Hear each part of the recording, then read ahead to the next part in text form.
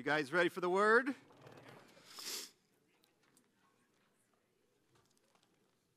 Ah.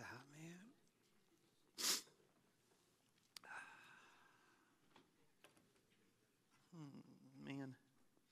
All right. Makeup again. Yeah. I'm going to be rusty today. I'm not on coffee this morning, and I've been off for two weeks.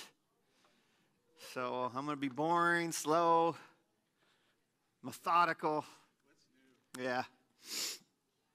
But if you'll stand for the reading of God's word, see if I remember how to do this. We're going to be in John chapter 7. We're almost done with chapter 7. That's good. We're going to be in John chapter 7. We're going to start in verse 37 today. And this is, we've been in this for a long time, and it's Jesus has gone to this feast. It started with his brothers challenging him, like, why don't you go up there to become popular, to be known, like to be uh, lifted up as this Messiah if you're really him? The whole chapter has been people like arguing who he is, hating him, arguing with him. And he's coming to the last day of this festival, which we're going to talk about uh, and he finally he steps up and it says he cries out like with passion with like with insistence about what he has to say. He finally stands up in front of everybody on the last day of this festival. It's one of the greatest days of celebration to give a message. And this so it's an important one. So let's read and read these words of god. It says this on the last and greatest day of the festival jesus stood and said in a loud voice let anyone who is thirsty come to me and drink Whoever believes in me, as scripture has said, rivers of living water will flow from within them. By this he meant the Spirit, whom, the, whom those who believed in him were later to receive. Up to that time, the Spirit had not been given, since Jesus had not yet been glorified. On, ser- on hearing his words, some of the people said, Surely this man is a prophet. Others said, He is the Messiah. Still, others asked, how can the Messiah come from Galilee? Does not the scripture say that the Messiah will come from David's descendants and from Bethlehem, the town where David lived? Thus the people were divided because of Jesus. Some wanted to seize him, but no one laid a hand on him. This is the word of the Lord. You may be seated. So, again, it comes to the end, of this section and they're like, Who is this guy? We don't know if we trust him. I hate him. Let's kill him. I don't know. I kind of like him. He might be the Messiah. Like everybody's still arguing. We've been in this series called Haters. If you're just joining us, the reason it's called that is because I, I was looking at the next few chapters of John, which we've been in for over nearly a year. And, and every single chapter, every single section is like, here's people who could look at Jesus in the face. They got to see him they got to see or be at least close to miracles of what he was doing, the power of Jesus in front of them, and they all were just moaning and groaning about who is he? I don't like him. I don't like what he said. and they're missing the Savior of the world in front of them. And they hate him in many ways. And what we've been looking at is how does my heart come to actually hate and reject the love of God? Because it's easy to look at people who are outright like, I hate him. But in many ways, their arguments and their problems with him are, are, our problems with him. We just don't always say it that way. And that's no different with this text. So, what's happening here is he's at a feast called Sukkot. It's called the Feast of Tabernacles or the Feast of Booths. And the whole point of this, it was a great celebration that went on for seven or eight days. And what they what Israel would do is they would come and every day there would be this is one of the rituals they would do during this festival. They would grab a golden pail of water from Siloam, this uh, pool of Siloam where Jesus actually had done a healing before, and they would take the water up to the temple with wine. They would pour it out as, as evidence of the water flowing out into God's people. Uh, and, and, it, was a, it was a memory. So, the reason it's called the, the Feast of Booths is it was a time for them to remember when God took them out of slavery, out of Egypt, into the desert where they had to have booths that they lived in, where they lived as nomads where they had to rely on God, where manna and bread from heaven had to fall for them just to get by. But more than that, so what is, happens at the last day of the festival is they light these big, huge torches that light up the whole city to remind people of how God led them through the desert, through the pillar, uh, pillar of fire. And then they would pour out this water, and it reminded them of the time that they were in a desert thirsty, near death, and Moses struck a rock in which the water poured out from that rock. Every time, this whole festival is to remember remember, we were thirsty, dying, getting out of slavery, but now ending up in a desert, and God provided. And not only would they sit there and remember and worship and dance and celebrate what God had done, they also then prayed for rain. They prayed that God would provide again. You know, and you got to think about it. They didn't have sophisticated systems like we have. They were dependent on God to bring rain for their survival. So they would do that at this festival. And this is the moment that Jesus, you know, he at the beginning he's like, I don't want to make a spectacle. And he chooses, though, he chooses very specifically this moment, the greatest point of celebration, when everything's about the living water being poured out from God, to make a declaration. It says he cries out. And he says, what we read today I am the living water. All who are thirsty, come to me and drink. I am the water that you're remembering. Like, come to me and drink, those who are thirsty. Everything you're looking for, for provision, for life, the, this fear that you have that you're not going to make it, I'm that for you.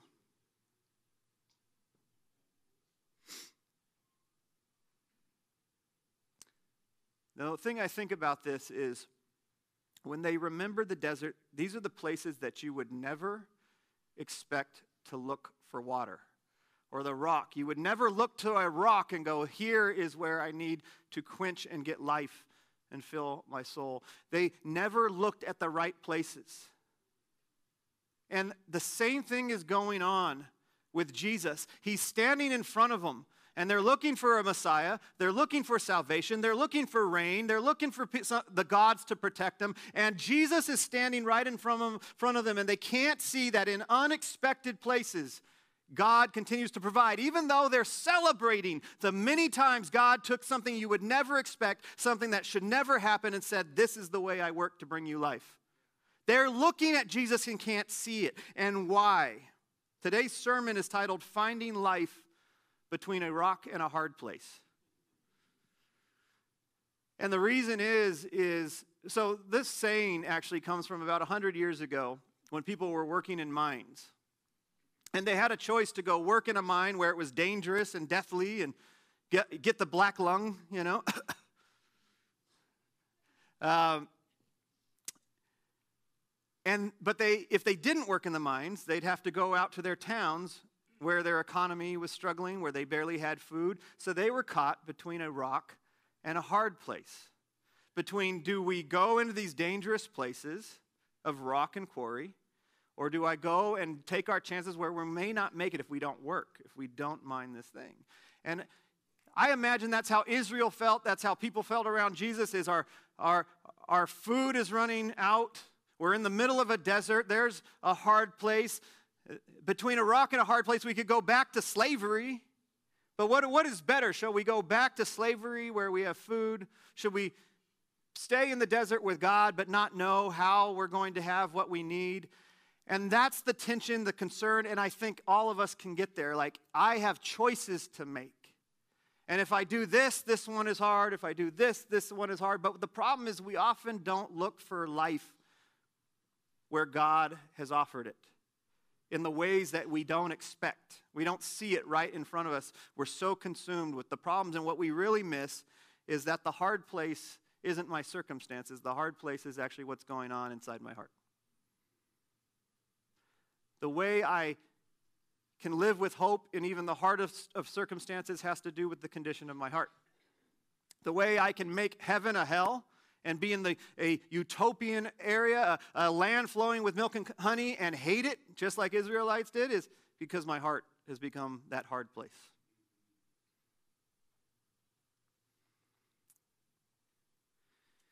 Yet it was even in these places that they are sitting there at this festival remembering. Remember when God brought water from a rock, streams of living water? And while they're saying it with their lips, they forget that even in Israel, though they saw water flow from rocks that were struck, they still rejected God. They still said, You haven't done enough. Oh, you took us out of slavery by a ton of miracles. Oh, you led us through pillars of fire. Oh, you provided bread from heaven and water from a rock, but they still rejected God. And we'll read that today. I invite you today to think about this. Not simply have you rejected God, because most of you, if you're here, maybe you're here because somebody made you and you've rejected God. But overall, you're here because you're looking or you know Him. But the, the question isn't simply, do I reject the love of God? It's, am I disconnected from it? Am I hardened to it? Even as one who says he believes. Here are God's people going, we believe God will provide but when, when Jesus says, I'm the way he provides, they cannot receive it because their hearts are hardened. They actually said this in, in the desert in Israel. They complained about the not having water after all these miracles, and this is the word they said Is the Lord among us or not? I've seen miracles to get us out of slavery, the taking down of the Egyptians. I've seen waters, I, have seen the Red Sea split manna from heaven, but now I'm thirsty. Is the Lord among us or not? If that doesn't hit home, how many times you've seen God do something in the past and now something's not going right, the land is drying, dry, drying up, you're thirsty, you're struggling, you need something, and you're like, where's God? And they're doing this. Is this, they're doing this to Jesus in our passage. Is he the Messiah? Is he just a great prophet? I don't know. Is he a deceiver? It's like, where is the Lord among us? I don't know. And Jesus has already just fed 5,000 people with bread. He's done the same things God has done. And again, they're like, is the Lord really here, though? Their hearts are hardened. Today, I want to look at how we become hardened like a rock to Jesus. If we look at one, I'm going to break this down section by section just in this little passage we read today. So, in the first verse, I want us to look at it says this Let anyone who is thirsty come to me and drink. So that's part of our passage. Jesus stands up and goes, Let anyone who is thirsty come to me and drink. What is one of the reasons we become hardened to the things of God? Number one, we are not thirsty. We are not thirsty, we're full. Here's the reality the richer you get, it says it in the Bible, the fuller you get, the more comfortable you get, the more safe you get, the less you go, I have a need for God. I've shared this, but I'll share it again. In countries with the highest GDP, and the, America has been one of the only outliers, and that's changing. But with the, the countries with the highest economic growth are the most atheistic in the world. And that's true at our individual level. The greater I can provide for myself, the less I know that I'm thirsty for the things of God. So that is number one. There's a point in Deuteronomy, and this is one of my favorite passages because it really encapsulates this idea. And he says this When you eat, he's, he's telling Israel, like, I'm about to bless you, I'm going to give you the promised land. When you eat and are satisfied, when you build fine houses and settle down, when your hands and flocks grow large and your silver and gold increase and all you have is multiplied, you go, wow, thank you, God. He goes, then your heart will become proud and you will forget the Lord your God. Then he see, it's not rejection, it's disconnection. You can these people still are, are, living in their houses, doing well, and just go, and not going, I hate God. They're just going, I don't got time for that. Because they don't need it. You have time for whatever you need. Right? You have time for whatever you need. So if you say, I don't have time for this spiritual stuff, church stuff, worship stuff, you've gotten too full. He said, You will become proud. You'll forget the Lord your God who brought you out of Egypt, out of the land of slavery. He led you through the vast and dreadful wilderness, that thirsty and waterless land back when you were struggling. With his venomous snakes and scorpions and he brought you water out of a hard rock. Do you remember that God made the possible, the impossible possible? Do you remember that he was there for you when your life wasn't going as planned?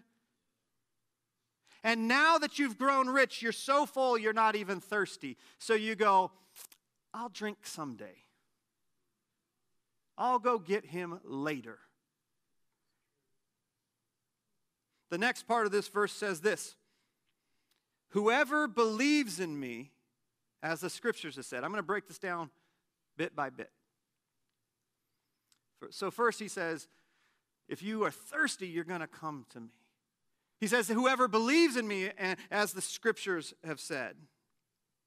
See, one of the reasons we become hardened to the things of God is we are thirsty, but we're looking for life in all the wrong places. We don't really believe Christ. We don't believe that He's enough.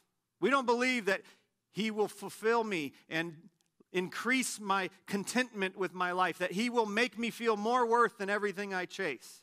So it's like, yeah, I'm thirsty, but I don't know that I believe in Him to actually do that. Maybe you believe in Him that when you die, you go to heaven. But I don't know if I believe in Him to be present in the things I struggle with now. So you know you're thirsty. I have needs. I have desires. I'm struggling. I have wants. I want to fix things in my life, but I don't know that Jesus is that truly. But I have an idea that other things are that. When we look at Israel in the desert, it said this in the story where the water comes from a rock, it's in Exodus 17 if you want to read that story. It says, But the people were thirsty for water there, and they grumbled against Moses. Mind you, this is Moses who took them through a Dead Sea by splitting it. You know, like pretty good dude to them, and they're like, I hate you. You got us out of slavery, you jerk. And they grumble against Moses. They said, Why did you bring us up out of Egypt to make us and our children and livestock die of thirst? See, they're thirsty and they know it. They're thirsty and they know it. But they're going, you know where it was better? And this happens throughout the Bible. They go, you know where it was better? Egypt. They forget the lashes on the back, the grueling. I mean, if you ever look at those pyramids, how insane that people built this with their backs. Right? And they did this, they were a part of this. And they're like, you know where we would not be thirsty anymore, where we'd find happiness, fulfillment, and life flowing through us? Egypt. If we went back to slavery. See, they knew they needed something, but they couldn't depend on God. They're like, I don't know if I need Him to provide in a desert. I just need my, my captors. And see, we still do that. We go, I know I'm thirsty. Lord, I know I need love. I just don't think Jesus loving me is enough. So I'm going to go look for it in the places that bring me to slavery over and over again. I'm going to get on my second and third marriage. This time it'll work. We just keep going and look for it. Maybe this time. Because I believe Jesus loves me theoretically, but I'm looking for life in all the wrong places. I know Jesus loves me, but I'm going to work my butt off because I know that what I'm thirsty for is security, safety, comfort, brand names, feeling rich, feeling, feeling good about myself. I don't think Jesus is enough to make me feel worthy. So I'm looking. I am thirsty. I have needs. But I'm going to go look for it in Egypt, in the places that have always let me down, always left me even worse off than when I first begun. See, that was the whole point of this whole festival, is to remember what God had done in the desert. He said, I don't want you to forget. Everything's gone well for you at times, and at times not. I don't want you to forget what God has done. That in the most impossible places, in the places that were so hardened, so dead of life, I brought real life without slavery, without you being mistreated, without you dying. We do that with everything body image, politics. I know God is in control, but I need these people to be in more control or else. Like, you know you're thirsty for change, but you don't believe God is enough. Right? You know you're thirsty to feel like you're beautiful, like you, you have significance, like your body is beautiful, but you don't really believe that you were made in the image of God, that that is not what constitutes beauty. Right? I know I'm thirsty. I just think I'm going to find it elsewhere. And that elsewhere is actually the one enslaving you over and over and over again. The third part of this let anyone who is thirsty, and then the emphasis here is come to me and drink. Let anyone who is thirsty come to me and drink. So, in this case, you know that you're thirsty. You know that there's need in your life, that you're like, man, my life is struggling and hurting. And I need water. I need God, maybe. I need Jesus. But he says, if you are thirsty and you know you need that, then come. Come and be in my presence. Take me in. Like, put me in here. Put me in here emotionally. Put me in here mentally. Come and take me in. That's the presence of God. And so, so many of us go, oh, yeah, gosh, I always need God. But it's like, hey, it's time to be in His presence. It's time to come worship at church. It's time to get in the Word of God with others. And you're like, I, I don't do that. I don't get into the Word very often because, you know, words and books, that's 66 books. I haven't read that much in my whole life. But that, he's like, this, this is the word of life, he says in the Bible. This is the word of life. So you go, yeah, I know I need things. I know I should be actually looking to God and not all these other things. But for some reason, I just don't feel Him. And I can almost, with some exceptions, guarantee that if you say you're desiring God but don't feel any sense of His presence in your mind or heart, you probably aren't around. It's not very, it's not really science. If you're like, Nick, I want to be best friends with you. And I'm like, cool, I don't have any, but let's do that. And I'm like, when do you want to hang out? Oh, I just can't. Okay, maybe next week? Yeah, yeah, yeah, yeah, next week.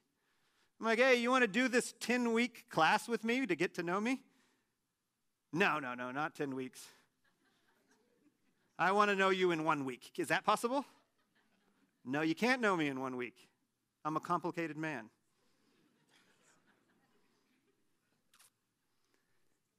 Do you want to go do something fun with me? No, I do not. I don't find that fun. We're going to go to a concert and sing. I don't enjoy that. Okay. Do you want to read my autobiography that tells you all about me? I'm not a reader. So let me get this straight. You don't want to be with me. You don't want to go places with me. You don't want to work with me. You don't want to read about me. But I do want to be best friends with you. Does it sound stupid to anybody else? Yeah. All right, there's your, there's your faith. All right? It's not a mystery. Come to me and drink. If you be if you're like, gosh, I just I need to have this in my life, you got to come and take it in consistently. If you were like, man, I'm really thirsty. I feel like I'm going to die. I got a headache. I got I, I'm dizzy. And then you're like, and I'm like, do you want some water? No, I don't want water. Maybe next week? Can I just have some vodka? Yeah, no. That doesn't quite fulfill the needs of your body. Right? Like everything but coming to the source of life to drink. And then you go, well, why am I so thirsty? Still. All right. That was longer than I had in my notes. The last portion of this verse I want us to look at, and this is a big one, so I want you to, if you're bored, straighten up. This is, this, this is where the rubber hits the road. Okay? Here's what it says If you are thirsty, come to me and drink. Next verse.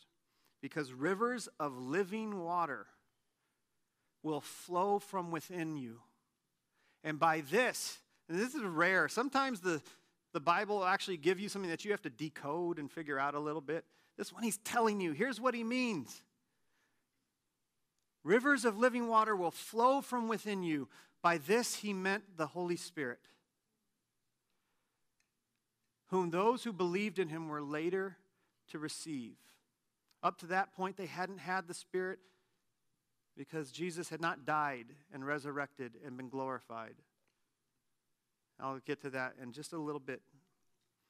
But he says, Rivers of living water will flow from within you if you are thirsty and you come and drink of him. What does that mean? Well, one of the reasons our hearts become so hard is because even as believers, even as people who go to church, even as people maybe you participate in churchy like things, and I'll just be the first to admit this has been me most of my Christian life, even as a ministry leader until recently. We do not allow the Holy Spirit to wash over us.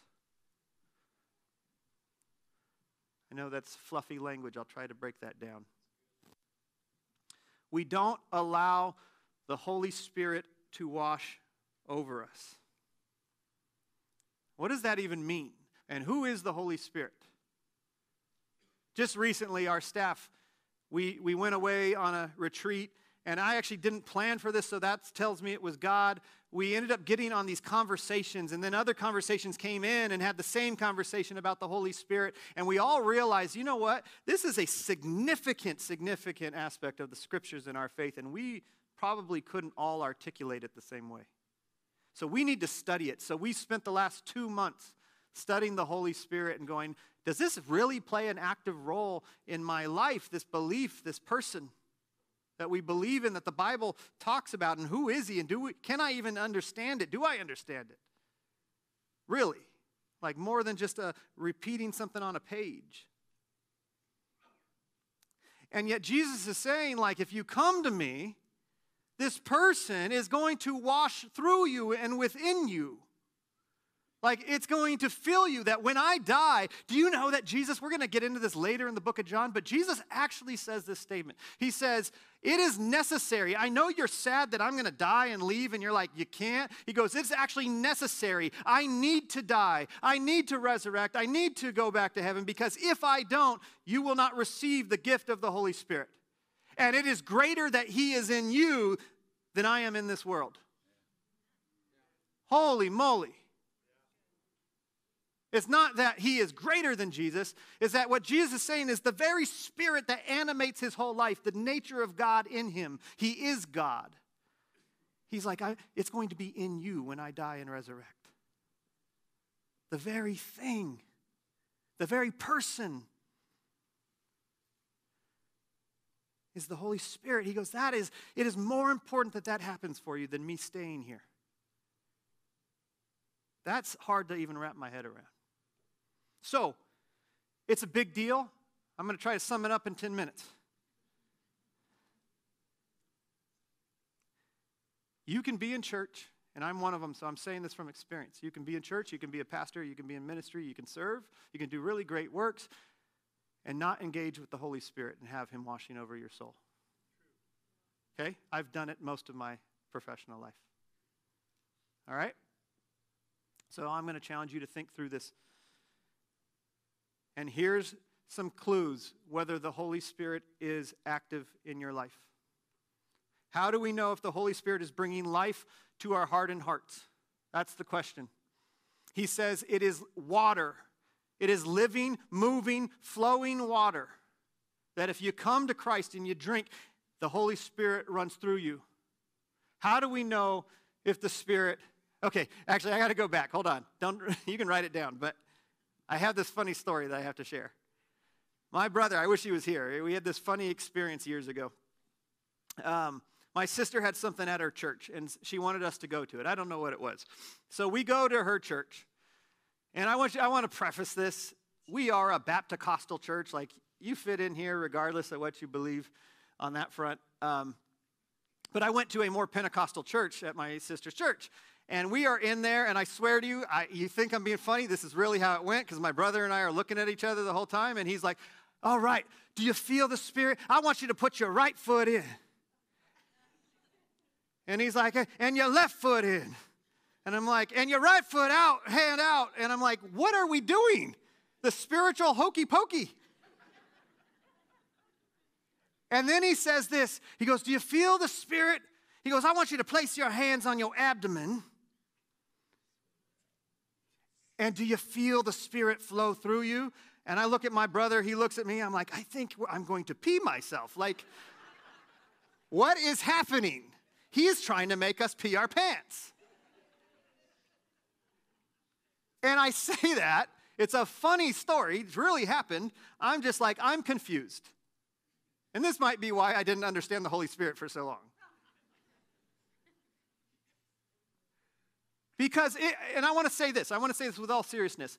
It is too often when you hear about the Holy Spirit, you connect it to these, mirac- these feelings of like, I felt and I was overcome, and people were crying and laughter or some type of miraculous thing. And I'm actually not against any of that. But what I'm going to tell you today is one of the major things, some of the major things that the Bible says the Holy Spirit does has nothing to do with that. And so, so often it's about how did I feel? I feel Him with my abdomen pushed, flowing through me? And I'm going to share some scripture with you because there are things the Holy Spirit does, and it's not that He doesn't do those things doesn't move through you that you don't feel. I, I know he does, actually. But that, that's not his primary nature of what he does. And I'm going to talk to you and share with you some scriptures on this. So, number one, Jesus says it's like wa- living water flowing through you. First of all, what does water do? Water renews, it brings life. If you are dying on the ground, dehydrated, and you're on the verge of death, the first thing we're going to do is let's get some water in them. When you go to the hospital, what do they do? Put it in your arm. I need it flowing through me. You need constant water because that brings life. And so you might have been dead in the ground, and all of a sudden you're revitalized because somebody got you water. It's now flowing through you, and you're brought back to life. Even your skin clears up when you drink water. Did you know that? I've been on a gallon, just like I'm hitting 40, a gallon a day.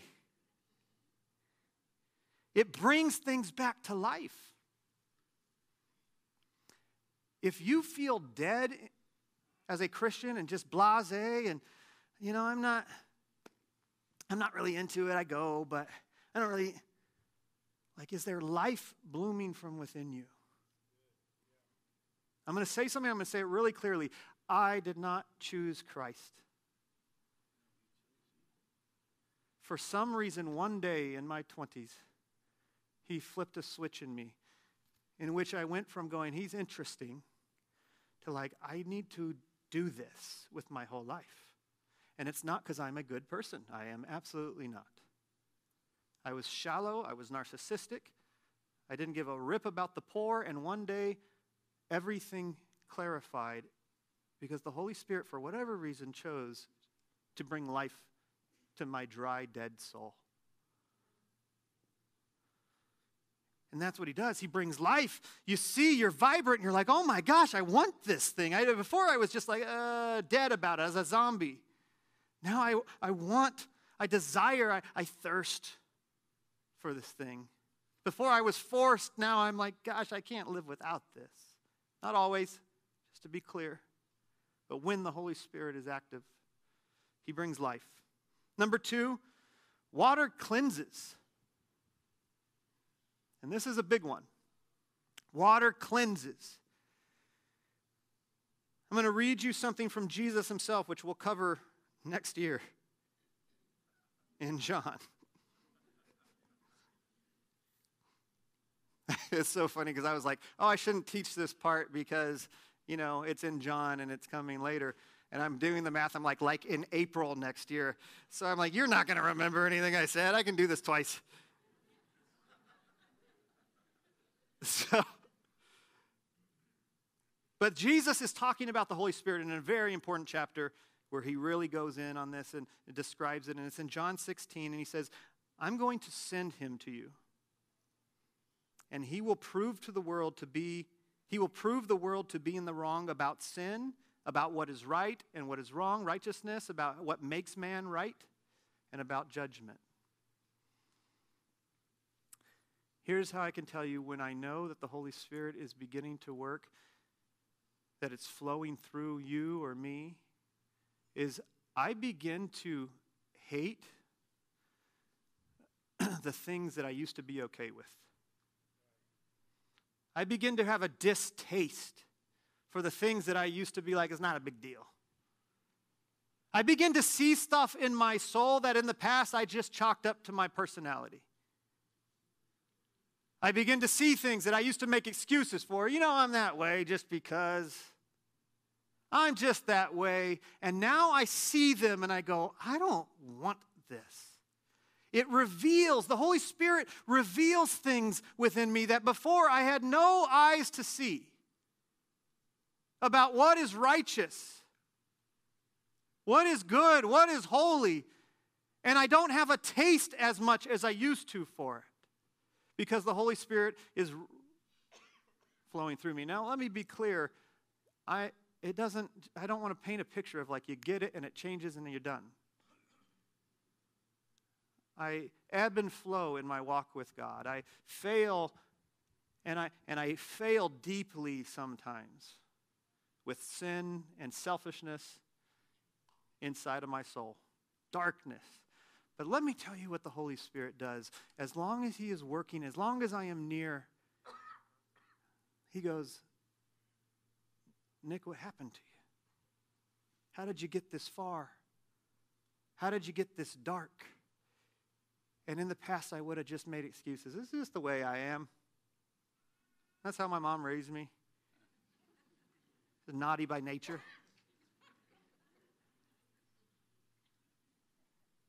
And now, when I'm in this dark place, there's a spotlight on my soul going, What happened, son? How did you get so far?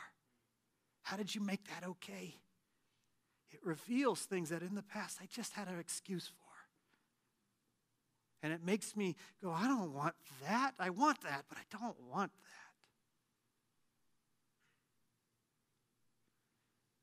Even when I was on vacation, I already shared this, but I'll share it. Like, I've never been one for money. I don't really care about it that much. It's never been a driver in my life. And then all of a sudden, I'm in Huntington Beach on my vacation, and I'm watching all these rich people in their Lululemon. And I'm like, I want some Lululemon.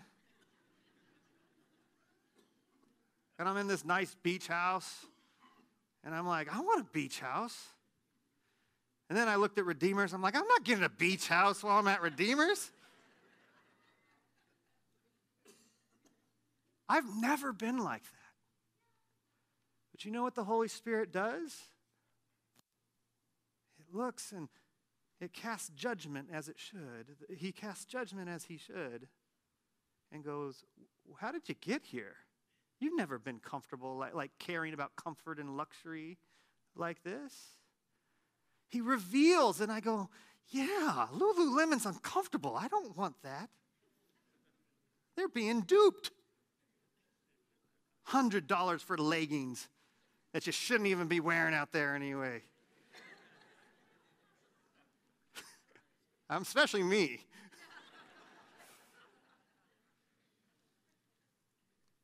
but all seriousness, it was. Uh, it doesn't matter that I'm not perfectly walking, that the spotlight's always there going, hey, not out of shame, not out of guilt, just like, no, like, why do I want these things? And as soon as I get in contact and presence and drink more of the Holy Spirit, I'm like, I don't want that.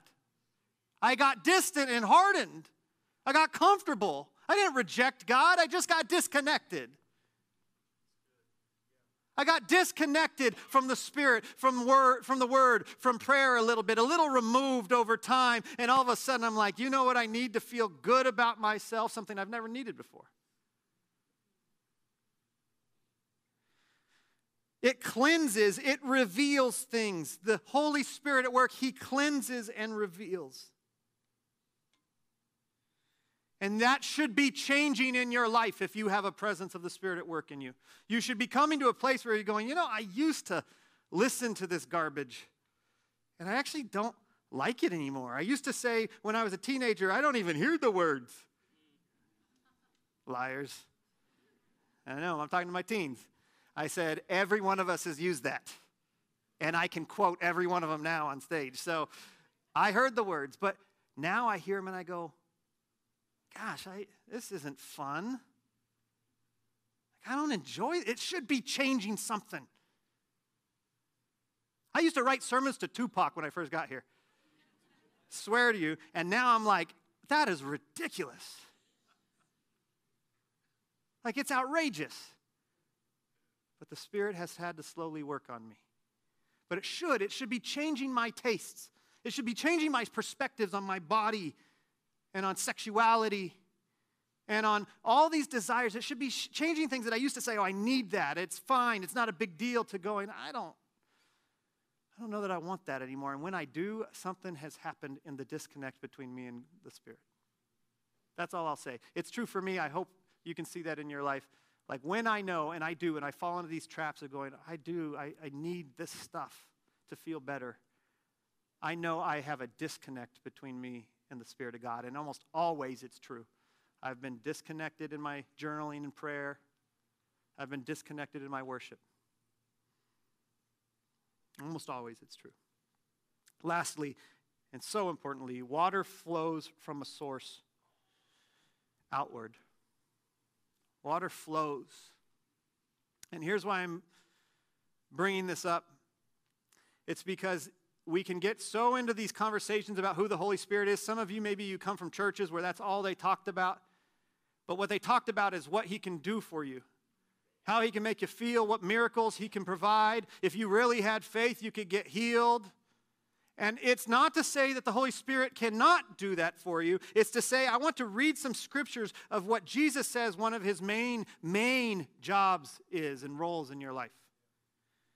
John 7, Jesus says this Up to that time, the Spirit had not been given since Jesus had not yet been glorified. One of the things you'll see throughout the Bible is that one of the chief roles of the Holy Spirit at work in my life is that He glorifies Jesus in my eyes, and it makes me want to glorify Jesus in others. That it lifts up, it spotlights Christ.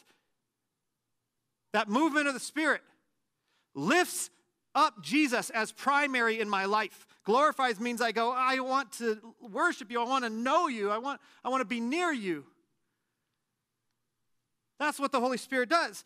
It spotlights Jesus. He spotlights Jesus.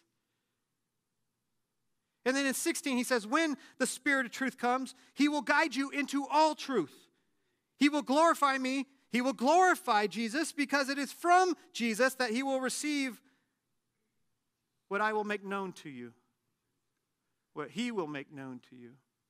What he's saying is all that Jesus knows about himself, about the nature of salvation, about the Messiah, about the world, like he's going to bestow that truth within you through the Holy Spirit. The Holy Spirit, you could read the same passage, and one day the God is moving within your spirit, and you're like, I've never read this, and I'm seeing the world differently because I've read it over and over again, and I never understood it, but now I see things.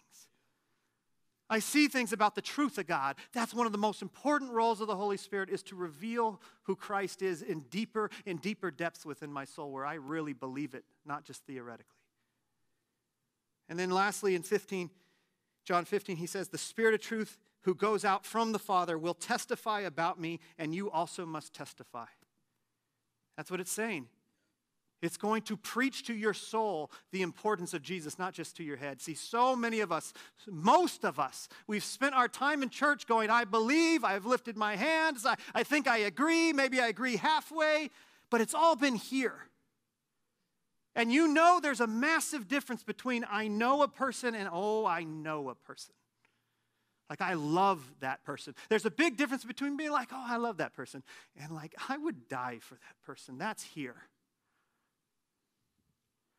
And he's saying, it will testify about my love to you. It will testify about, he, the Spirit will testify about how much I love you, and it will be meaningful, not just, oh, Jesus loves me. It'll reveal God's truth about the nature of Christ and who He is to your life and what you're to do in the world. Who am I to love today? There will be an understanding of what God desires deep down that you didn't have before. How do you know if the Holy Spirit is running through you? You're seeing things you hate that you used to be fine with that were even okay to everyone else, but it's just not okay to my soul anymore. You're bringing life. You're like, I have a passion. I desire. I've been in church 40 years, and but now I want Him. I want Him. But most importantly, you're going, I need to know Jesus. I want to come to the source. And the Holy Spirit draws you to Him. And that's what I was saying. When I came to faith, it wasn't because I'm a good guy. I don't know what it was, and I never knew what it was until the, now.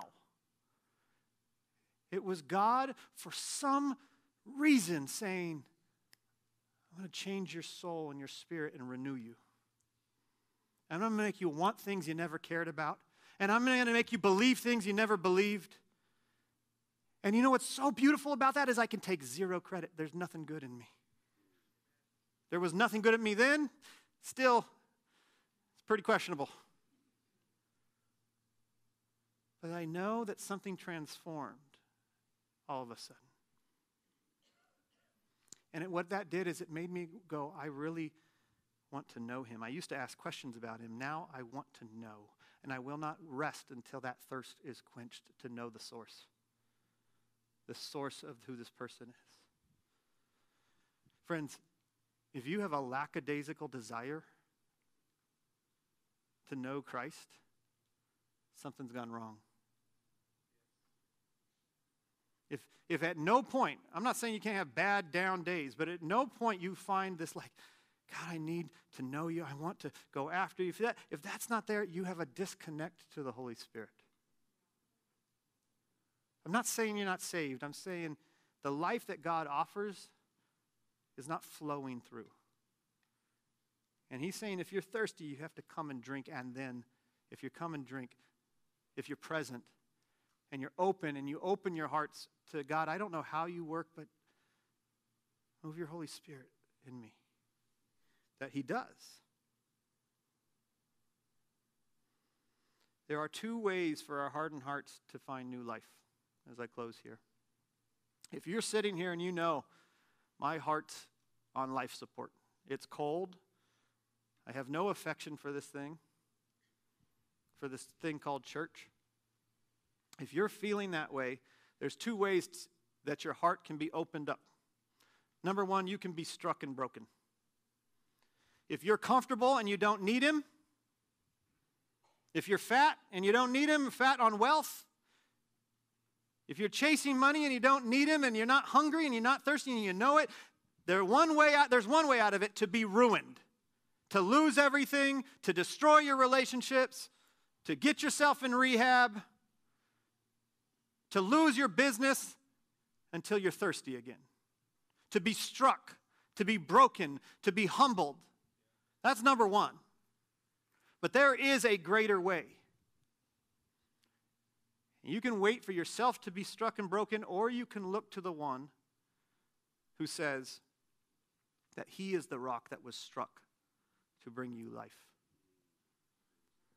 This is so phenomenal. This is written in the New Testament by Paul.